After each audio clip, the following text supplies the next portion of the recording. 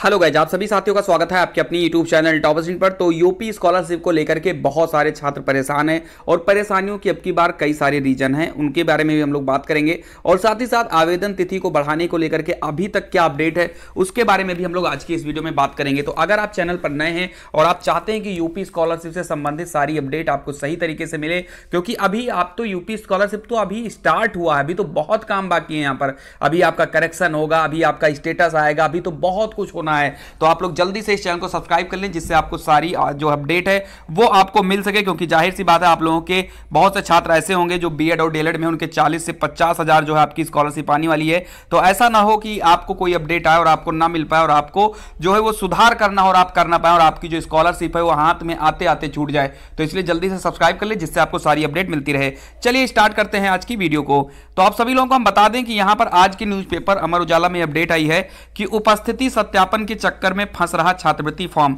क्या अपडेट है, इसको देखिए। समाज कल्याण विभाग की छात्रवृत्ति योजना के लिए ऑनलाइन आवेदन करने के बाद लखनऊ विश्वविद्यालय के छात्र अब विश्वविद्यालय के छात्रवृत्ति अनुभाग में फॉर्म जमा नहीं कर पा रहे हैं।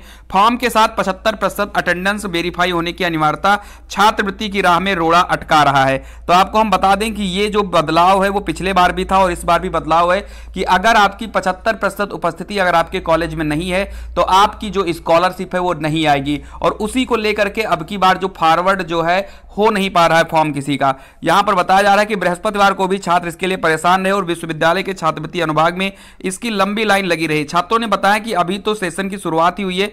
ऐसे में किसी की दो से तीन तो किसी चार कक्षाएँ ही हो पाई। छात्रवृत्ति के लिए आवेदन करने व बाकी प्रक्रिया पूरा करने में काफ़ी छात्रों की कक्षाएँ भी मिस हुई हैं। इसके चलते दो चार कक्षाओं में पचहत्तर प्रतिशत अटेंडेंस दर्शाने में समस्या खड़ी हो गई है। विभाग फॉर्म पर अटेंडेंस वेरीफाई लिखकर तो दे रहा है, लेकिन जब वे अनुभाग में फॉर्म जमा करने जा रहे हैं तो कर्मचारी यह कहकर फॉर्म जमा नहीं कर रहे हैं कि इस पर पचहत्तर प्रतिशत अटेंडेंस की बात नहीं लिखी है। इससे छात्र परेशान और भटक रहे हैं। ऐसा लगभग हर एक स्कूल और हर एक यूनिवर्सिटी के जो छात्र परेशान है, क्योंकि उसका सबसे बड़ा रीजन है कि भाई परीक्षा फॉर्म भरा जाने लगा। जैसे अभी बीएड वाले को ही मैं एग्जांपल ले लूँ तो बीएड वाले ही तो 2022 में अभी उन्होंने एडमिशन ही लिया है और अभी उनकी क्लास कहीं ज़्यादा से ज़्यादा एक दो ही क्लास हो पाई होगी। तो ऐसे में पचहत्तर प्रतिशत उपस्थिति कैसे जो है छात्र कोई ले पाएगा? ठीक है तो ये चीज़ें दिक्कतें यहाँ पर आ, आ चुकी हैं। तो ये बदलाव जो पचहत्तर प्रतिशत वाला है इसमें दिक्कतें आ रही हैं। साथ ही साथ अब हम बात करते हैं यहाँ पर सैकड़ों छात्र आवेदन से चुके यानी अंतिम तिथि की जो मांग की गई कि 30 नवंबर तक जो है डेट को बढ़ा दिया जाए जिससे बहुत सारे छात्र जो स्कॉलरशिप फॉर्म नहीं भर पाए किसी भी कारण से तो उनको स्कॉलरशिप फॉर्म भरने का मौका मिल जाए।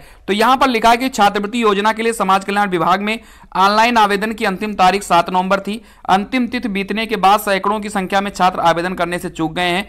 अभी लखनऊ विश्वविद्यालय संबंध सभी महाविद्यालयों में यूजी व पीजी की प्रवेश प्रक्रिया चल रही है। प्रवेश होने के बाद ही छात्र आवेदन कर सकते हैं। तो यहाँ पर सिर्फ़ लखनऊ विश्वविद्यालय की अब बात नहीं है।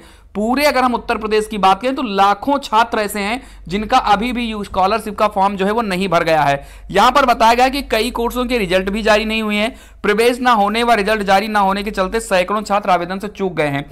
कुल सचिव संजय मेधावी ने बताया कि कुलपति के अनुमोदन के पश्चात समाज कल्याण विभाग से आवेदन की अंतिम तिथि 30 नवंबर तक विस्तारित करने का अनुरोध किया गया है। यानी कि जो लखनऊ यूनिवर्सिटी के जो कुलपति उन्होंने ये कहा है कि कम से कम 30 नवंबर तक जो डेट है, उसको एक्सटेंड किया जाए स्कॉलरशिप को लेकर के।